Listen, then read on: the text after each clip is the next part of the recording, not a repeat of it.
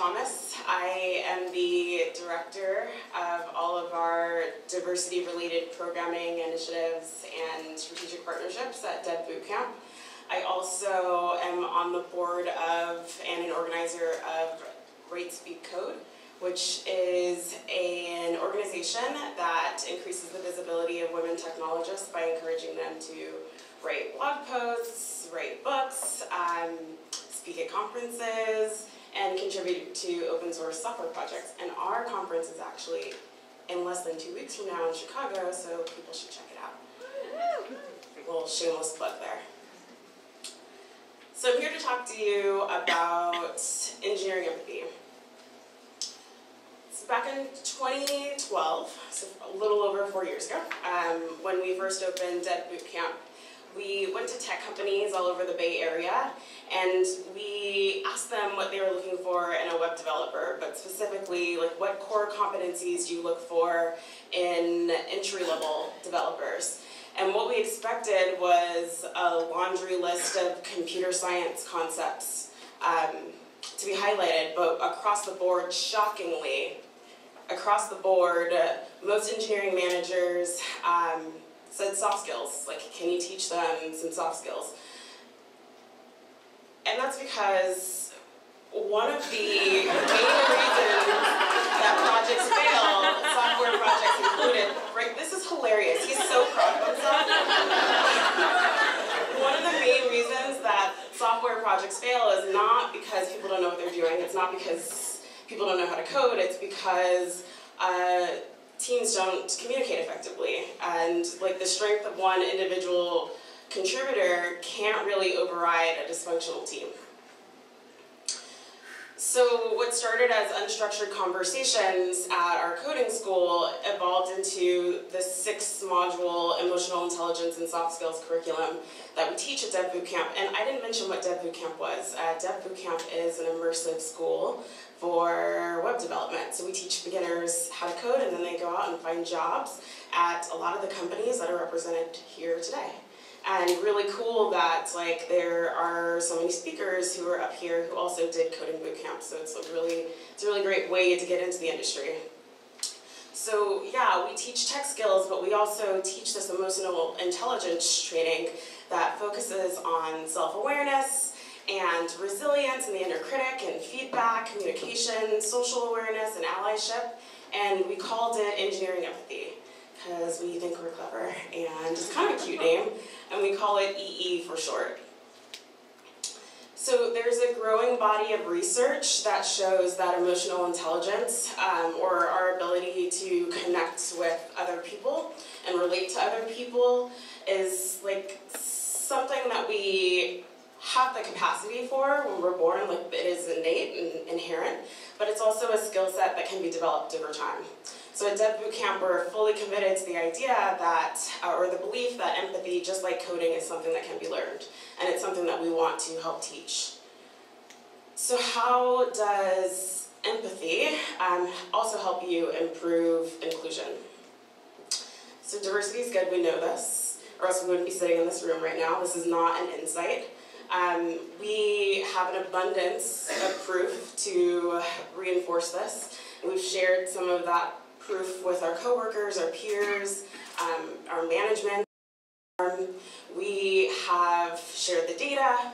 Uh, we have shared reports on how companies with more diverse leadership teams or boards have better outcomes, um, are more successful, have greater financial returns. We've tried to appeal to our teammates' altruism, um, sense of altruism, and like have essentially asked them to do the right thing. Um, have yeah, try to to convince them that it's the greater good and that that's the reason why you should be doing this. And like it may or may not have uh, moved the needle at your company.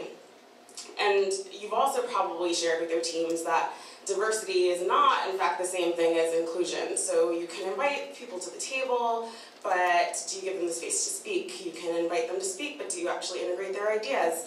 Um, you can bring them into the room, but do they feel like they're at home? And what we found through our work at Dev Bootcamp is that simply presenting data and abstract proof points wasn't enough to stimulate a sense of shared accountability around these issues, like issues of inclusion specifically, and what we really needed was for students and staff to tap into a shared sense of vulnerability. So like true empathy, like feeling with people instead of for people, and we try to give them a set of tools to practice that. So we talk about the four qualities of empathy. So perspective taking. Um, you don't have to agree with someone, but you can at least understand where they're coming from. And open-mindedness, this is huge. Um, essentially having a beginner's mindset all the time in everything that you do, and a willingness to suspend certainty and being right about issues in order to truly understand someone else's perspective. We talk about discernment, um, the ability to experience empathy and feel with someone without like fully taking on their emotions as your own. And so essentially like creating some boundaries.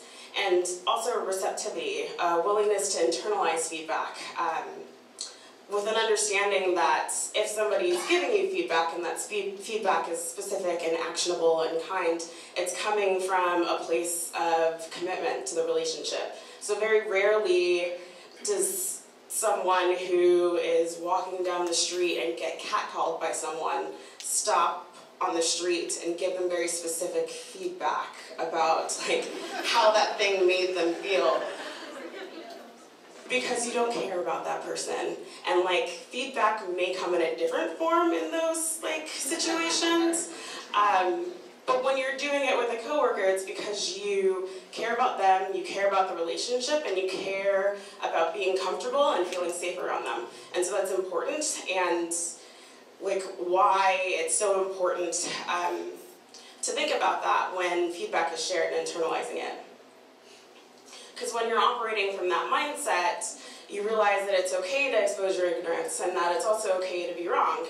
And I like to show this graphic because it gives people a sense of how unlikely it is that you're going to always get it right when it comes to issues of inclusion. So if you think about all of the world's knowledge, there's what you know. So just quickly, shout out what you know. Something you know, anything. This is a very smart? Awesome. I also know how to tie my shoes. What's something that you don't know? I don't know how to speak French. I'm sure there are things that you don't know. What's something that you don't know that you don't know? Exactly. If it existed in language for you, if you could articulate it, it would be something that you didn't know. So like things that you don't know that you don't know exist in the lived experiences of other people. And if you can remember that, if you can remember that like when someone's sharing something with you that that's their truth and even though it's not your truth that it's valid um, you can start to validate other people's experiences without also invalidating your own and when you do this, it opens the possibility of a richer dialogue.